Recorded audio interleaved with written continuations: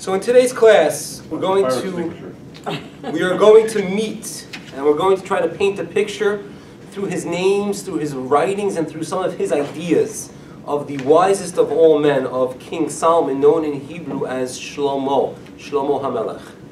And first, I would like to tell you that there are three primary works that King Solomon wrote. The first one is known as Shir HaShirim, the Song of Songs.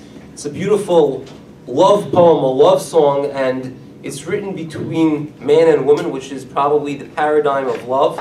But it really is an allegory for the love that exists between God and the Jewish people. And each verse there is more floral and more beautiful than the next. And they describe that all the books of the Tanakh are considered to be holy works written with divine inspiration. But they see that book, the Song of Songs, is called in the Talmud as the Holy of Holies. There's something very special about the love that exists between God and the Jewish people. Another work of King Solomon's is known as Mishle. In English, it would be called Proverbs, and it's full of metaphors, of, of, of ideas and concepts that you take them on one level, they mean something very simple. When you take them on another level, there's a lot of depth, tremendous depth there. I'll give you one such example of, of a verse from the book of Mishle, of Proverbs. There it states that when you raise children, chanoch linar, when you are educating a child, it shall be done al pi darko, according to his path. Now that means simply you should educate children in a good way. But when you take that phrase deeper, what it's telling you is not all children are meant to be educated, are meant to be taught in the same way. We don't create a mold for our children and then force them into the mold. We allow them to flourish and to develop their skills and their talents that is unique and individual to each of those children. I remember back in the days when I was dating my, my wife, I sat down with my in-laws and they weren't my in-laws at the time, but they definitely wanted to meet the young man who was getting seriously involved with their daughter. They wanted to have a chance to talk with me and see what I was about, to see if they approved. Thankfully, they did. And um, my father-in-law sat me down on the couch and he said to me, you know, Chaim, the way I raise my children is kind of like a flower in a flower pot. I let them grow and develop into ways that they chose fit. I didn't force any one path upon them. And there's a lot of diversity actually in my wife's family. She has a sister who's a CEO, she has a brother who's a scholar, another one who's a physicist.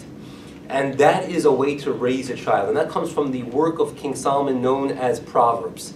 In that book, though, he tries to chart for us a course in life, a path, how to live an ethical and moral life that will gain us eternal life, that will bring us into the next world where we can reap the rewards of our efforts and we could experience this incredible existence in the next world. So that's the path to eternal life. That's the book of Mishle of Proverbs.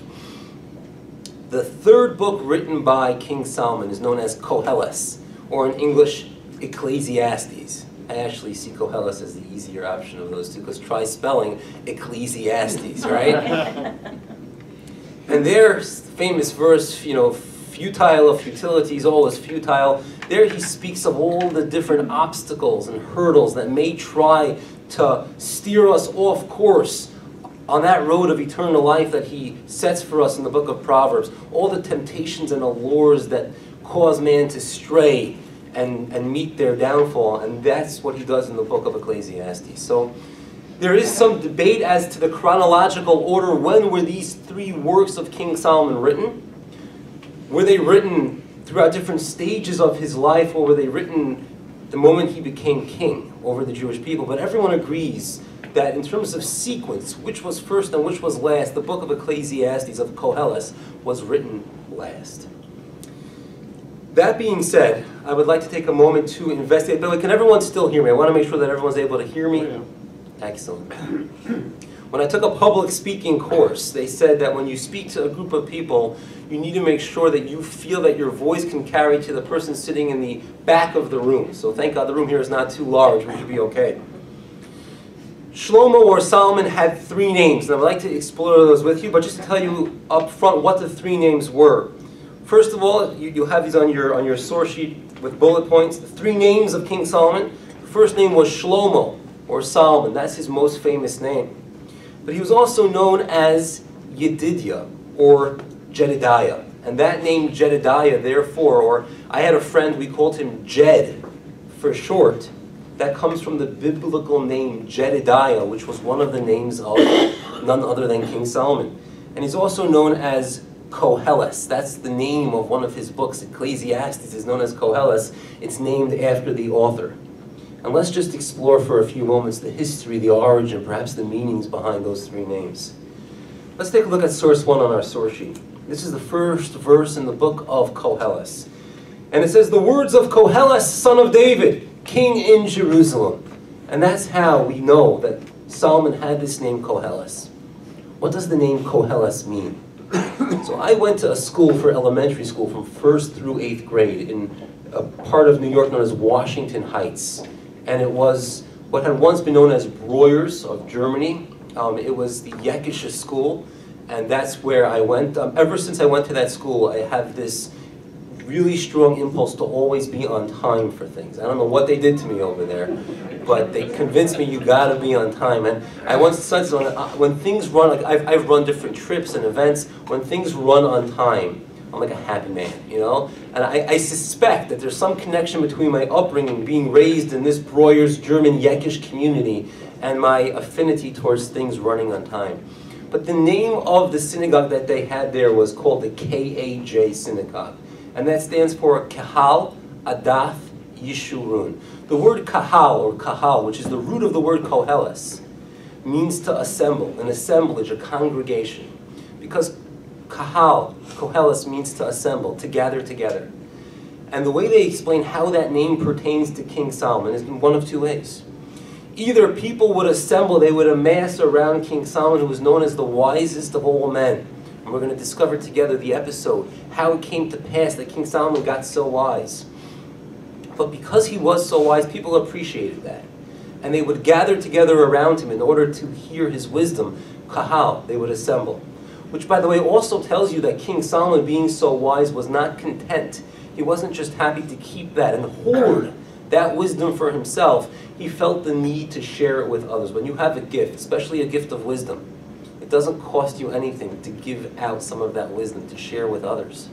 It perhaps even strengthens it within you because as our sages tell us, many of them have said, I've learned a good deal from my teachers, I've learned a lot from my colleagues, but I've learned most from my students.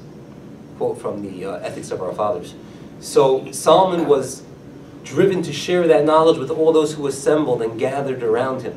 Another way of explaining the name Koheles, the gathering, was that he gathered within himself all of this wisdom.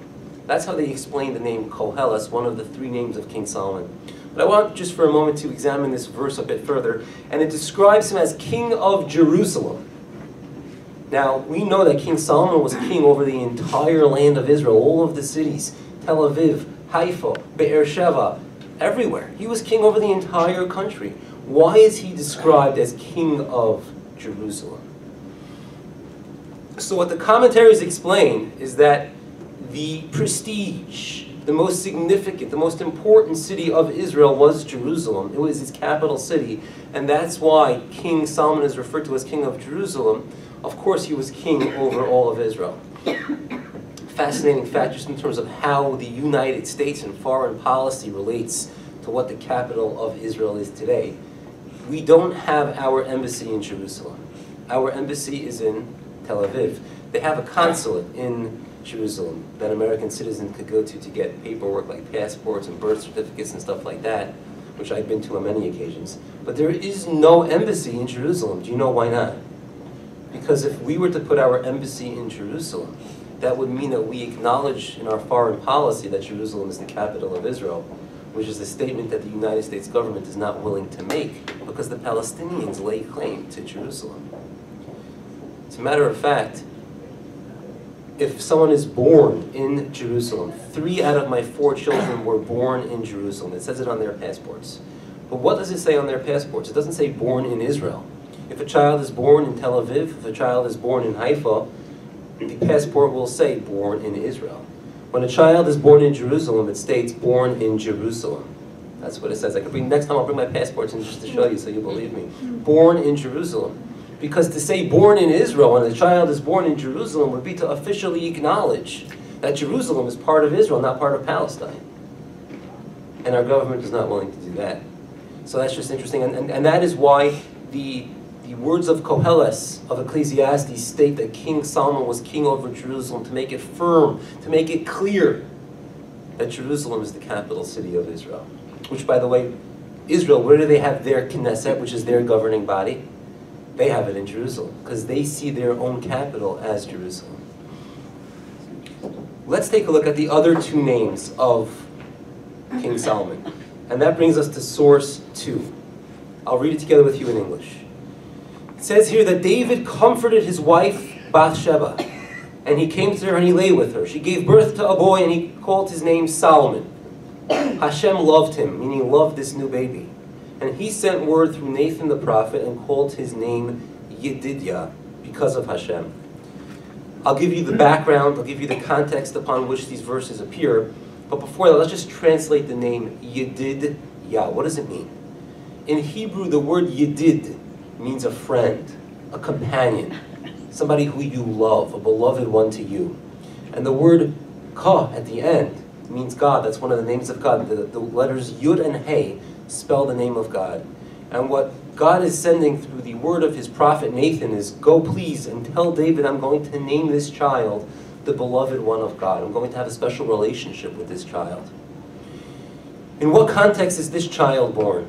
And I believe we've discussed in the past the episode, it wasn't the bright episode, it was the episode of David and Bathsheba, where there was a woman named Bathsheba.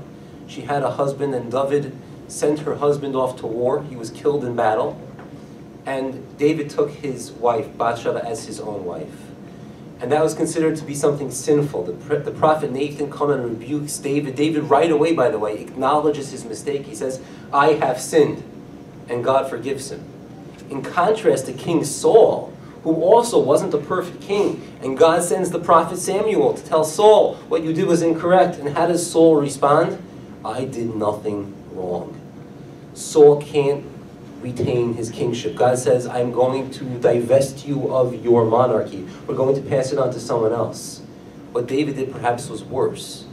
But because he's able to own it, he takes responsibility right away. God says, You will remain the king of the Jewish people, and the dynasty of kings will continue to run through you. So that's just a lesson, by the way.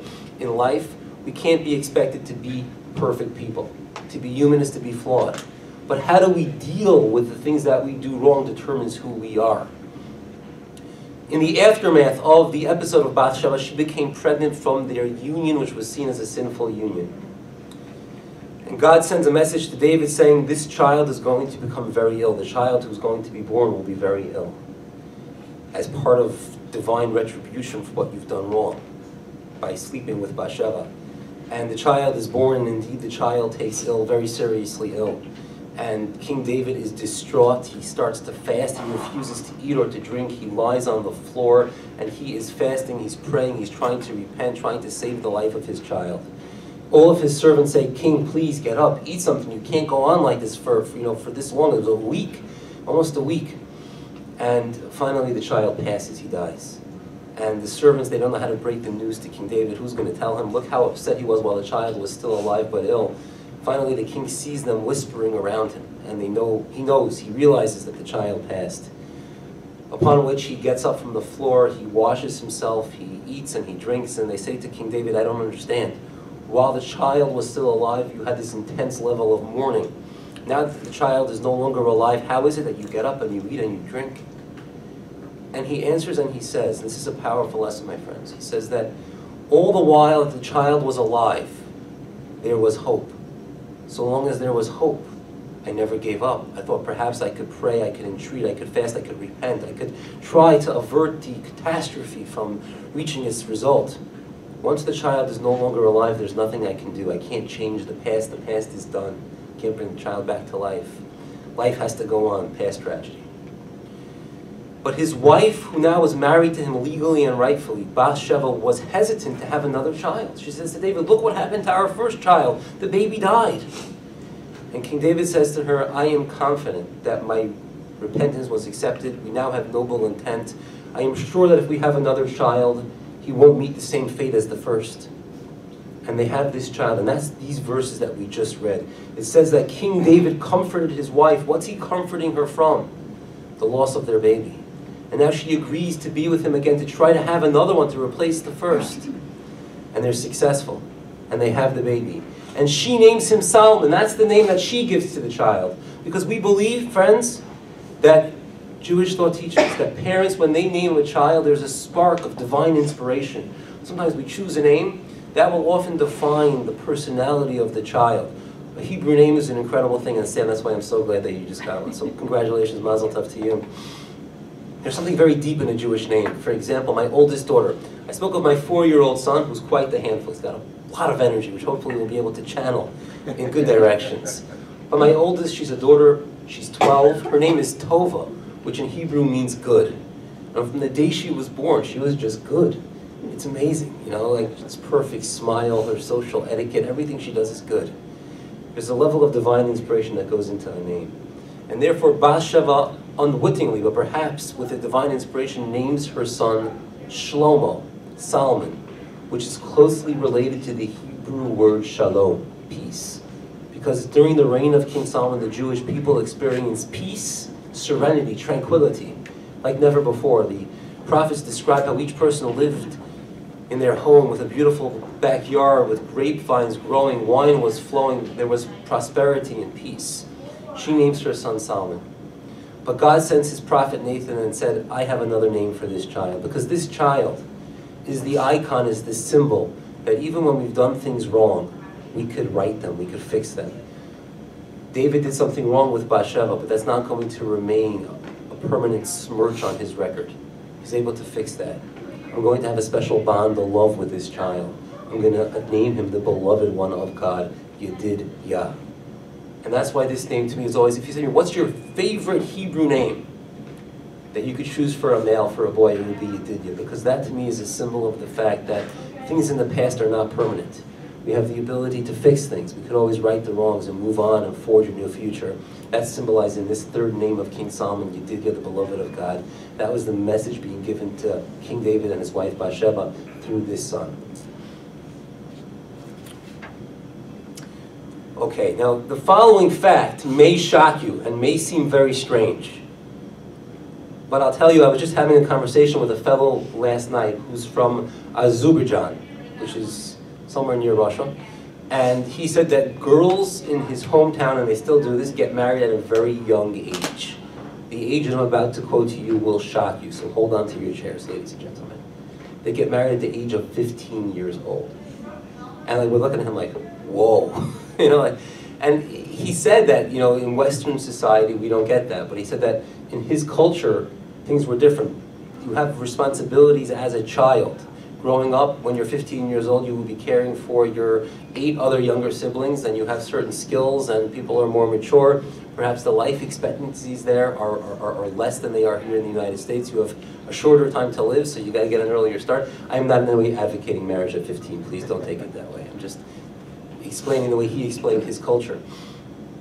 So how old was King Solomon when he became king over the Jewish people? When his father David passed and the throne was handed to him, how old was he? He was a mere lad of 12 years old. And he became the wisest person at this young age. He reigned for 40 years. That's how long he was king for, which is the identical number for how long his father, King David, was king over the Jewish people. 40 years. He was king of the Jewish people.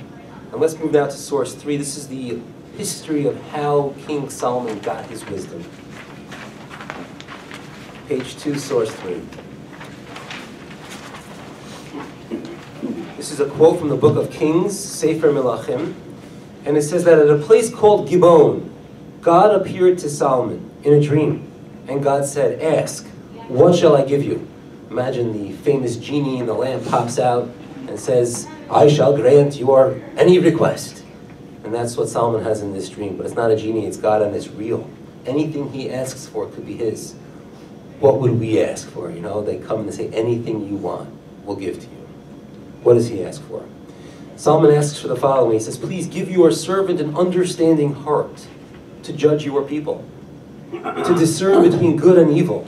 For who is able to judge this, your difficult people? Solomon says, I'm king. What do I need? What attribute, what talent and skills do I need to be a good king?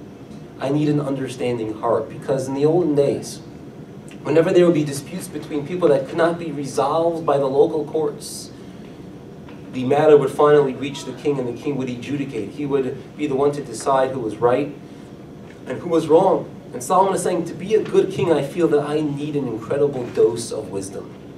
And how does God respond to this request? Let's scroll down a few more lines. And God said to him, Because you have requested this thing, and you have not requested length of days. Right? He could have said, I want to live to 120. He could have asked for that.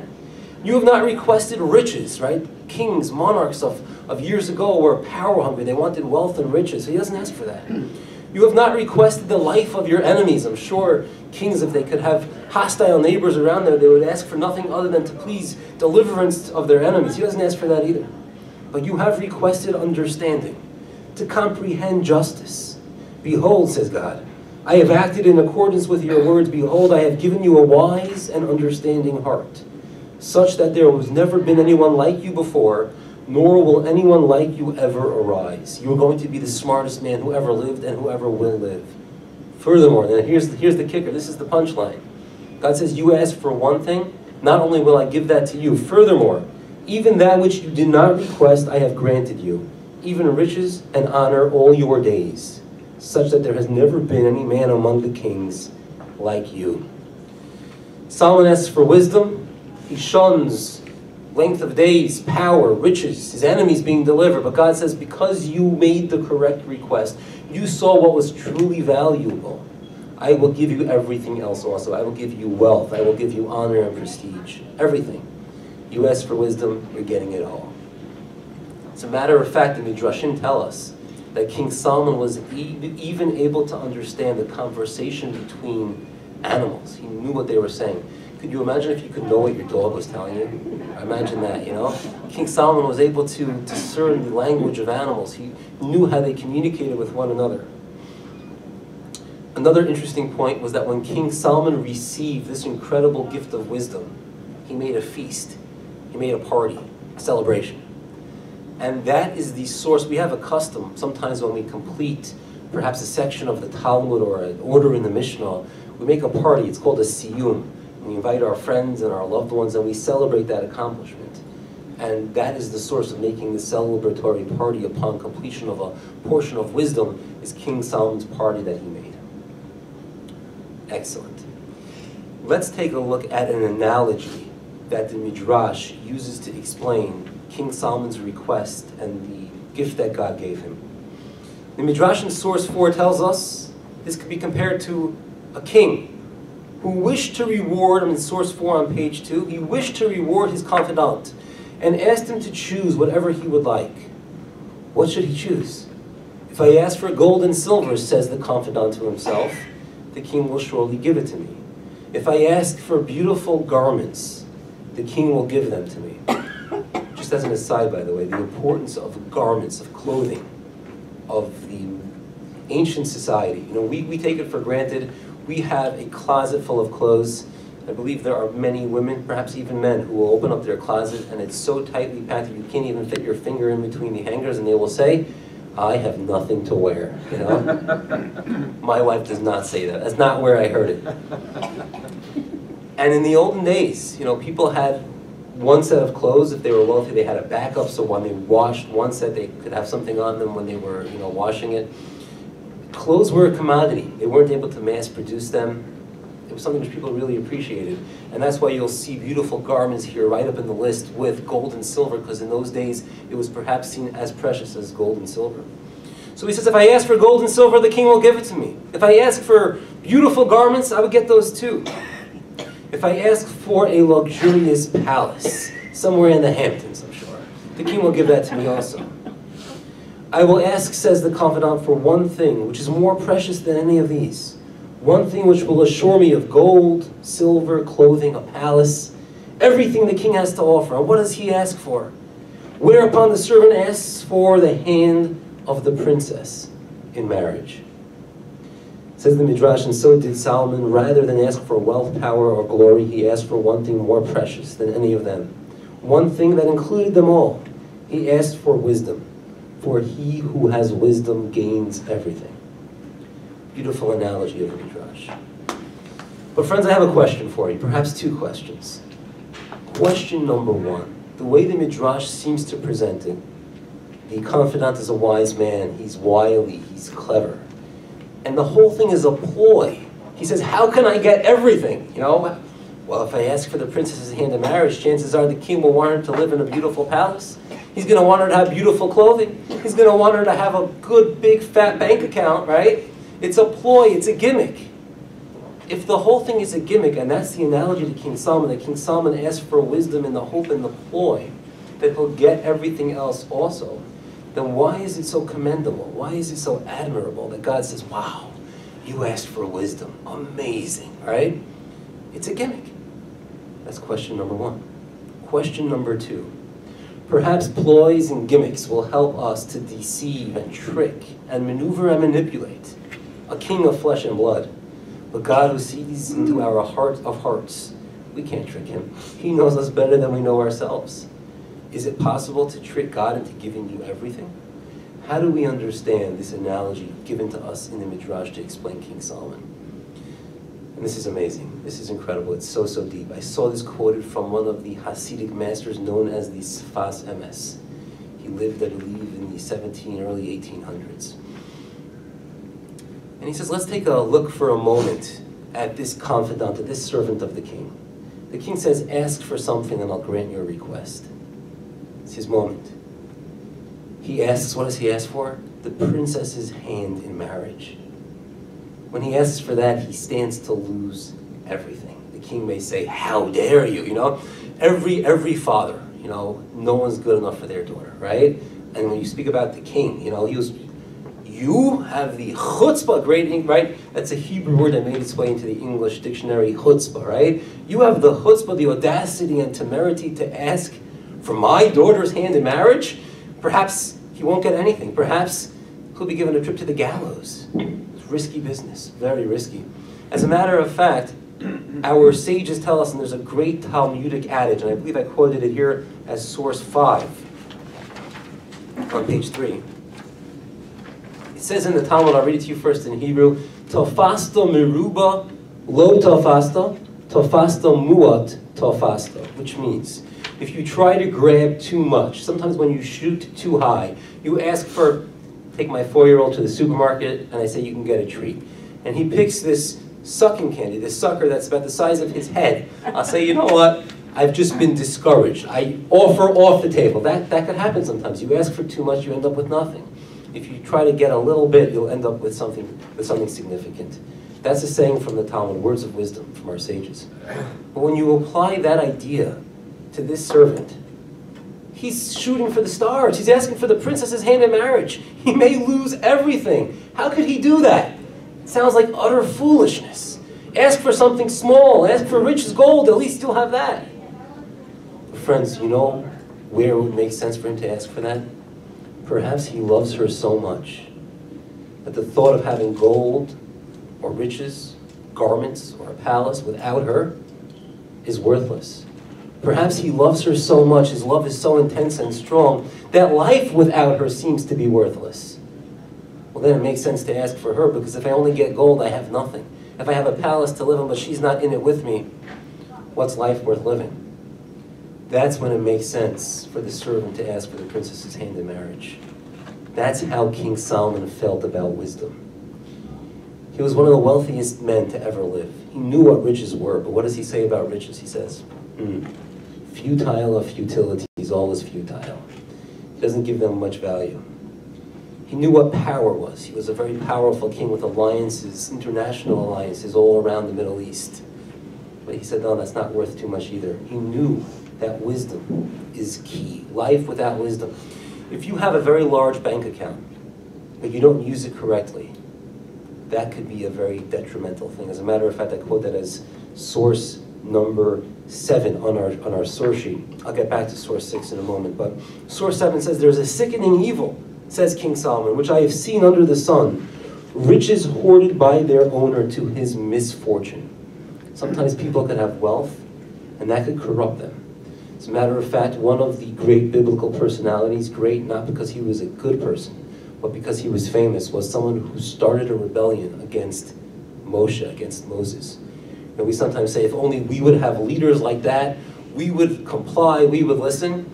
Even Moses had dissenters during his era, right? And there was a man named Korah, and Korah started a rebellion. And our sages teach us it's because he was so wealthy that it gave him these ambitions that were incorrect ambitions. They were the source of his ruin. A person can sometimes have wealth. I, I don't need to tell you that. Haven't there been families where there was a large amount of money and now there's an inheritance? What does that do to the family sometimes? Rips it apart. Sometimes wealth can be a very negative thing. It's the wisdom of how to use it correctly that King Solomon saw as valuable. If all you have is power, but you abuse it, do you have a good thing? If all you have is beautiful clothes, but you just use them to flaunt what you have, make others jealous, are clothes a good thing? King Solomon knew that all of these things, without the wisdom of how to use them correctly, are worthless. And therefore he asked, just as the confidant asks for the princess's hand in marriage, for life to him without her means nothing, Life to Solomon without wisdom meant nothing, and therefore he shoots for the stars. He says, Please give me wisdom. God says, Excellent. Now you'll have the capability, the wherewithal for how to use all of these amazing qualities wealth, garments, a palace. Now I'll give everything to you because now you have the knowledge for how to use that correctly. If we may just for a few moments explore one of these verses, that's source 6, where King Solomon says that some of the material, mundane things that we have in this world are futile. It's a depressing verse when you take it at face value, but let's explore. Let, let, let's get to the bottom of it. And King Solomon here says, source this is Ecclesiastes chapter 1, verse 2. Futility of futilities, said Koheles. Futility of futilities, all is futile. Wow, that's depressing. So, let's explore. First of all, the commentaries note that that word hevel, in Hebrew is hevel, which means futile, it's used seven times in the verse. It's used seven times. That's if you count the plural, futilities or havalim as two. And what King Solomon is saying is that the number seven, which I'm sure as you know is symbolic of the physical world in which we live, there are seven days in the week, there are seven continents upon the globe, and there are seven notes in the musical spectrum. So great, grateful for the uh, sound of music, that song that helps me remember the uh, seven musical notes, do, re, mi, fa, sol, la, ti, right? Julie Andrews was the actress, correct? Excellent. So, what he's saying is, Julia Andrews or Julie? Julie. Julie, good. Um, what, what he's saying is, is that this number seven, representing the mundane, the physical world, the material world, that in it of itself, if that's an end unto itself, without just being the means for something else, that's futile. Imagine somebody who works hard all day to be able to have enough money to live. And they have enough money to live to be able to work hard all day. And that is their chain of existence. I work to eat and I eat to live and I work to eat and I eat to live and I do that every day in and day out. What do I have in life? If there's a deeper meaning, if there's a calling beyond that, that's not futile. But what King Solomon is saying is the material world in it and of itself is futile. It's a great story and it's actually a, uh, a parable. There's a story told of a king. And this was a king who was brought in by a country, and every two years they would bring in an outsider, a foreigner, to serve as king of their country. And they would play a little trick on the king. They would bring in the king and they would say, Now you are our king, you are our leader, we'll pay taxes to you. But what they wouldn't tell the king was that at the end of two years, he would be forcibly removed from his throne cast outside the walls of this country and not allowed back in. No king ever found that out. And what the king would do is he would amass storehouses of wealth for himself. He would tax the people and try to collect as much money as possible. Coins of silver and gold filling storehouses. But when the two years were up, the king, without warning, would be clutched by the guards on either side and escorted forcefully outside of the confines of the city walls unable to take with him anything that he amassed and accrued over the years of his kingship. One time they brought in a king, and this king was a bit different. He was a king who was kind. He was a king who was in it for the people. He was the servant leader of which the leadership books speak about. He was there to help the people. And one person in the kingdom took a liking to this king and says, I better tell him about our secret. I better tell him what's going to happen at the close of the two years. And he tells the king the secret. And the king then puts away a modest amount of money outside the city. The king is entitled to wages too, it's not an easy job. I always tell people I would not want to be president of the United States of America because it's not an easy job. It's hard. When you're the one making the final, imagine just for a second, I'm going to digress. Imagine there's a plane up in the sky, Flight 93, and you need to make a call. There were three planes that were hijacked earlier that day. Two crashed into the Twin Towers, one into the Pentagon. And there's one more plane now which had been commandeered by terrorists with 150 passengers sitting on board. And you need to give the executive order to send up the F-16s and shoot it down and kill 150 people on board who were innocent. It's not an easy job. Perhaps that's the correct decision because the people are going to be killed either way. Because if they're not hit by a missile from an F-16, they'll get flown into a populated area and they'll die with many others. But I wouldn't want to have to make that job, that call, that decision. So a king is entitled to wages. It's a hard job. And this king, a good man who loved the people, put away modest wages for himself outside of the city walls. And when finally his day came at the end of two years and he was forced out of the city, he had a retirement plan. He had money put away in a fund that he was able to live off for the rest of his life. And this story is really a uh, metaphor for our lives here in this world.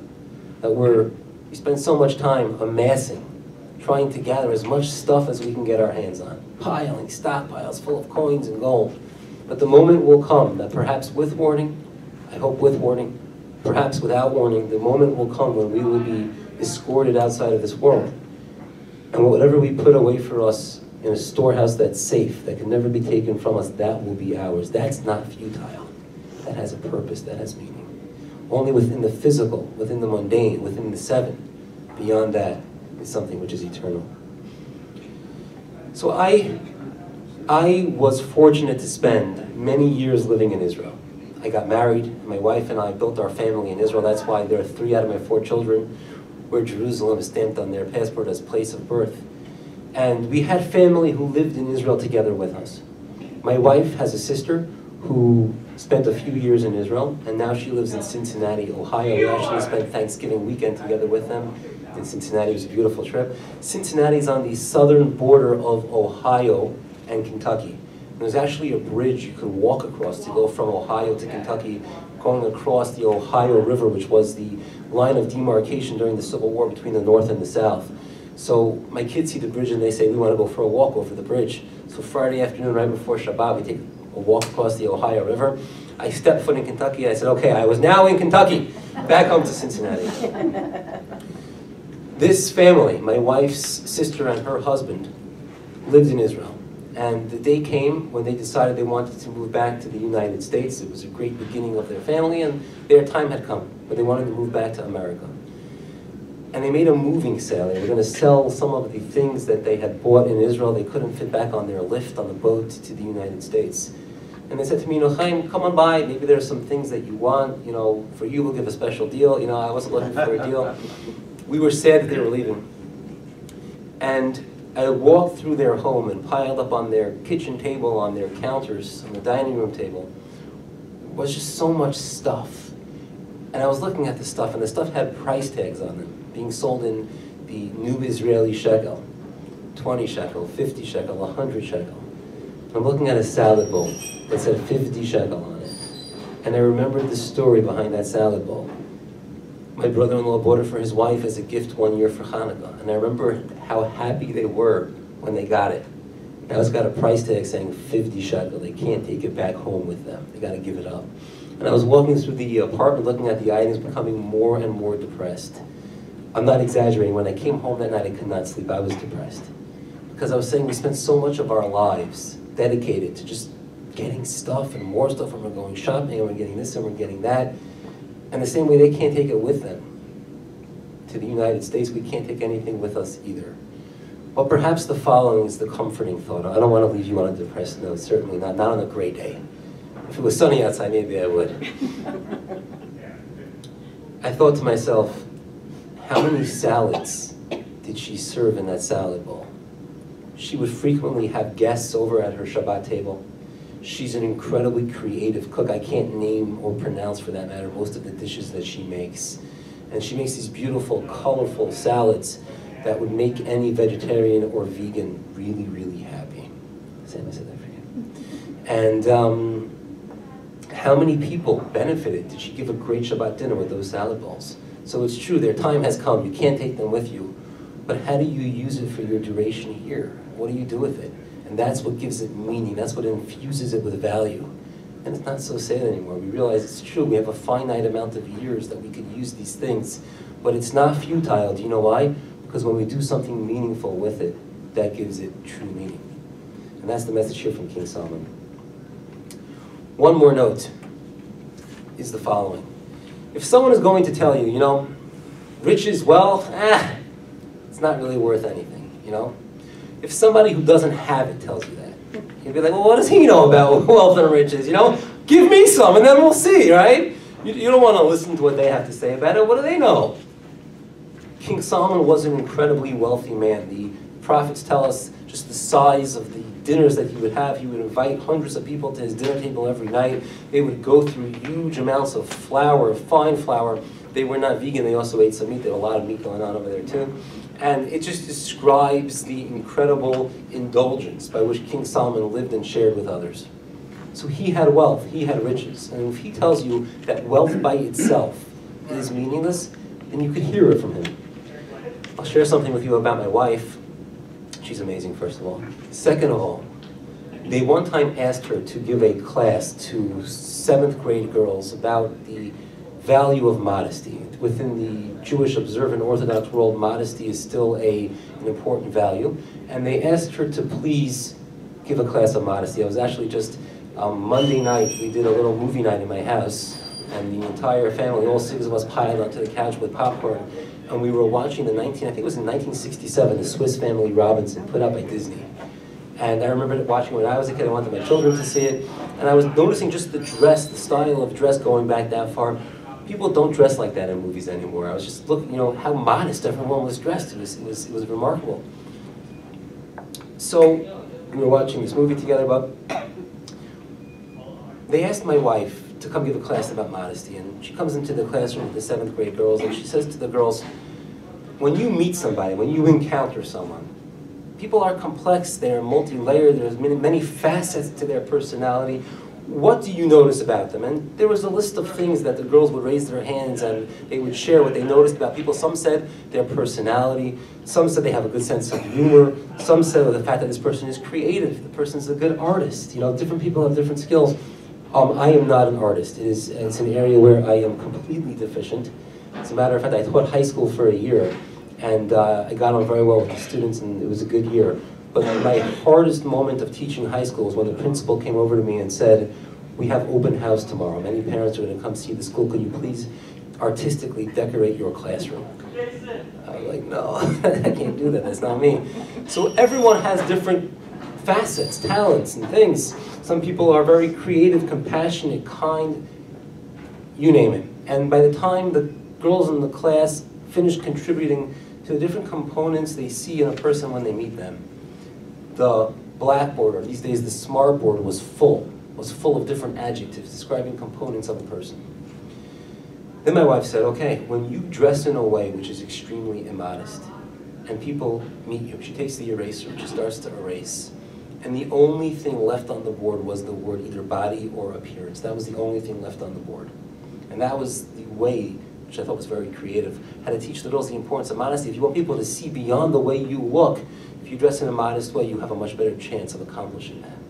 But the reason why I tell you this story is because if you want someone to go into a classroom and teach people about modesty, not only girls, boys, modesty is not only the way you dress, it's in the way you talk, it's in the way you act who are you going to send in to do that? If you send in somebody who their, their shirt does not match their pants and they're wearing two colored socks and they look like they're, they have tomato stains on their shirt from last night's dinner.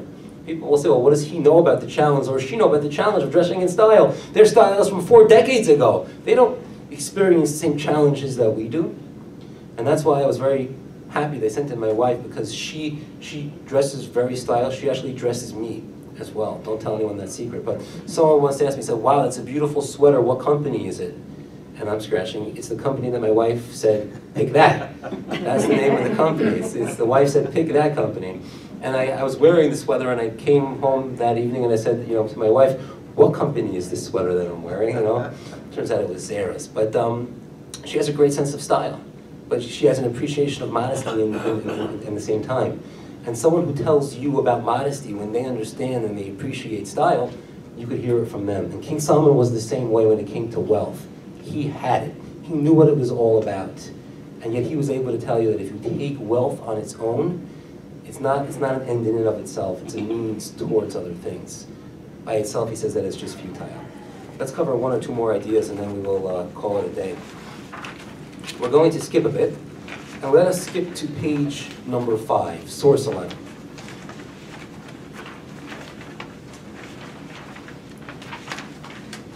Again, what I hope to gain from this verse is an understanding of the values of King Solomon. When you sometimes want to understand a person, if you read the things that they have written, it will give you insight into who they are. And this is the closing verse, this is the final verse in the book of Ecclesiastes.